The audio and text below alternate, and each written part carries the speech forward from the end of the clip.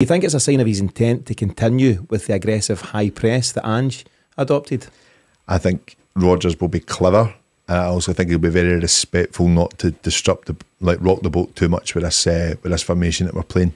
And I think he'll work into that. I really, really do. I still think we'll see inverted fullbacks next season as well. Um, I don't think he touches a thing.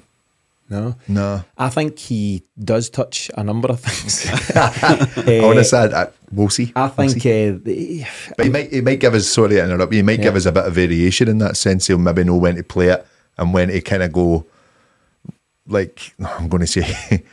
Rodgers in, in, in Europe, but there's been some horrendous results there, but some really, really good ones too.